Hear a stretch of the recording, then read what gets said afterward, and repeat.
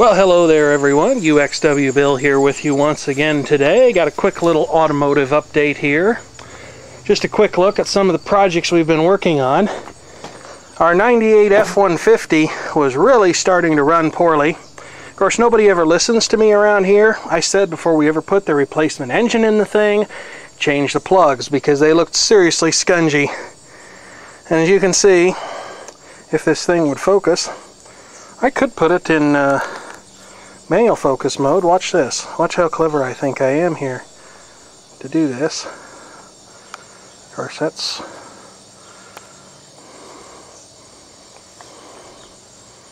There we go. Pretty normal looking wear on that spark plug, but I think you'd all agree that thing was definitely, definitely ready to be replaced above and beyond a doubt. And the truck is running like a million dollars now it's a thousand times happier than it was. All the other vehicles are pretty much doing their own thing. We've started and run the Volvo a little bit. But other than that, there's not too much to say because not too many of them have been going for a sympathy vote. But here we have the vehicle that is the subject of today's video. This is a vehicle we haven't seen in a couple of months now since the last time I would have talked about it, and obviously I don't quite have this thing back in manual focus mode yet, autofocus mode. oh, I may never get it figured out. But we'll see what's going on here because this is long overdue for an update. Okay, now I'm talking about this after I've been working on the car today, so all of this is still relatively fresh in my mind. It's just a couple of hours old. When last I talked about this car in a video, it was absolutely running like crap, wouldn't hardly run at all. And we have definitely made some headway on that very exciting subject.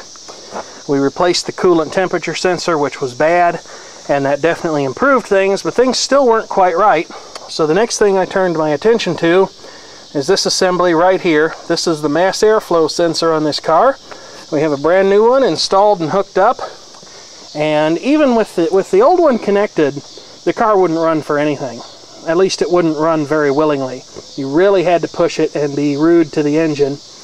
And it seems that we have some hornets buzzing around here, which I do not like. I think they're living in ranger danger over here because I've seen them flying in and out of the gas door. And if I wasn't uh, a complete chicken, I would almost be ballsy enough to whap that fuel door and then run like hell. But I don't think I'm going to do that because those things have a bad habit of uh, appearing in very large numbers. And who knows, maybe as long as this car's been sitting, there might be some in there. but I digress. And I got a catch in my throat. The car wouldn't hardly run at all with the uh, previous mass airflow sensor in place. With it disconnected, it ran almost perfectly, but the ECM was using static values to let the engine run, and that was not a perfectly happy situation, especially as the motor started to warm up. So now with that mass airflow sensor in place, you can almost drive this car. Now one thing I haven't done yet, and that some of you asked about, was being able to hear this car run. Well, I figured we could probably do that because even though it's drivable, we still have a very rich odor from the exhaust. It won't stay running unless you keep your foot in it a little bit. And if you do rev it up particularly high, you get kind of a sulfur smell from it. I'm not really sure what to think. One possibility that has crossed my mind, although it's not mentioned in any of the trouble trees that I've followed in the service manual so far, is a faulty oxygen sensor because I believe that sensor, which you're looking at right now, is at least as old as the car is, and I'm assuming it's still connected to something. Yeah, it's still got a wire on it, so that's a good sign. but I really don't know if it's working properly. I also don't know if the ECM on this car is working correctly. After all, it is very nearly 30 years old, and you know how electronics go. After 30 years of being frozen, baked, and jostled around, I would say it's probably a little bit suspicious. The one thing that I would really like to see from this car is live sensor data, which the ECM, despite its primitive nature, does actually support. Now the Keykeeper and I have tested the spark plugs and a lot of people have suggested, well, the Magnavox ignition system is not worth a darn. And they might be right, but we have a relatively new top half of the module and a relatively new bottom half as well. And at least as far as a neon-based spark tester is concerned, we have what looks like pretty even fire over all the plugs. We've also pulled out the injection rail. None of our injectors are dribbling or leaking into the motor, and although we couldn't really tell for sure, they do all seem to be firing. GM recommends some kind of a uh, light-based test harness that we don't have, and I haven't felt sufficiently motivated to build anything like that just yet.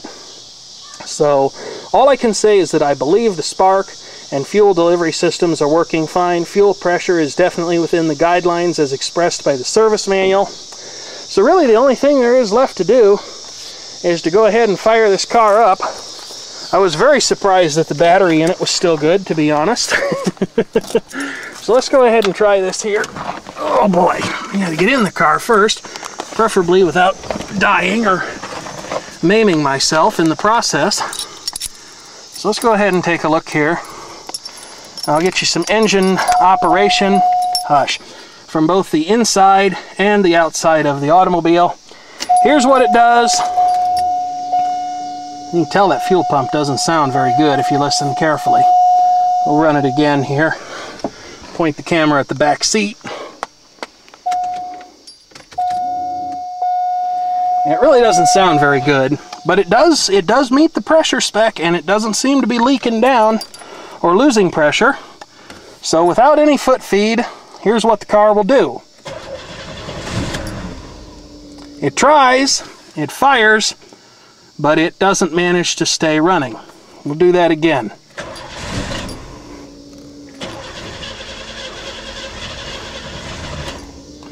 And that time it really wasn't trying too hard. Here's with a little bit of foot feed.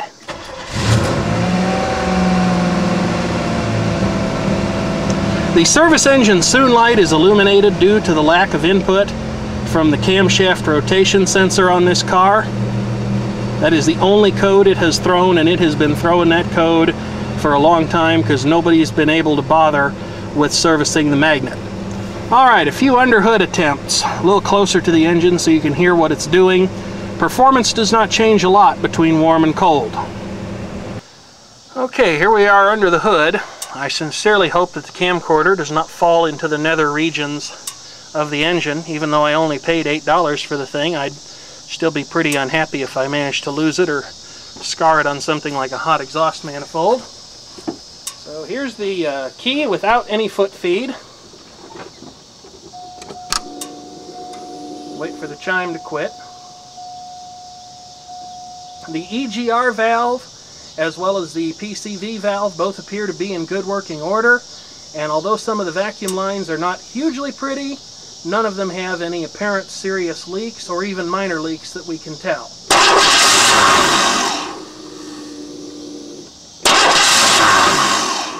Alright, we'll try it with a little foot feed now. As soon as I get situated.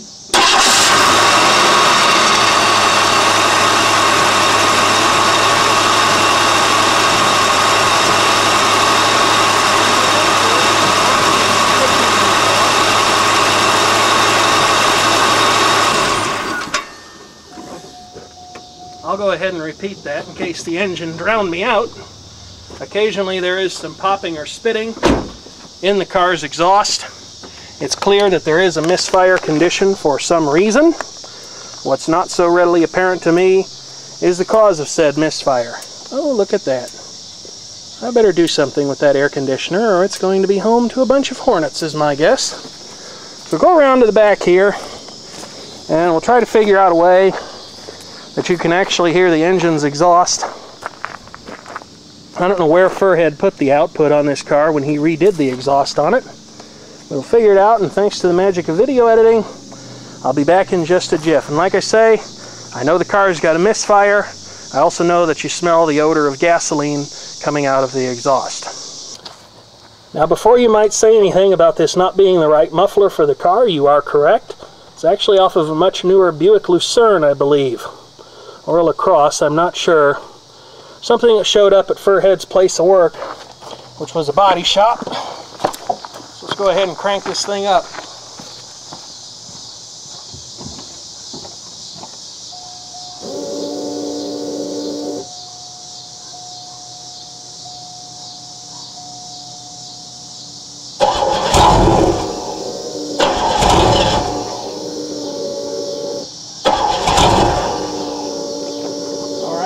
With a little bit of foot feed.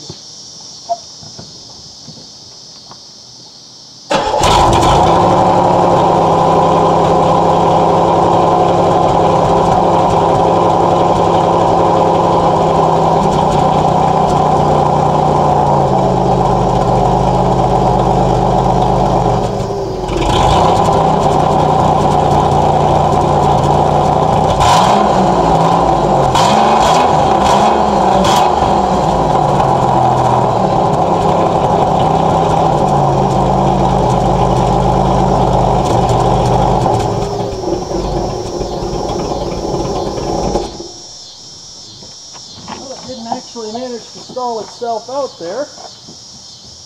I've got some theories of my own as concerns the trouble with this car. But as always, I would certainly be interested in hearing what you, the viewing public, has to say about the matter. Meanwhile, as always, I certainly do thank you for watching.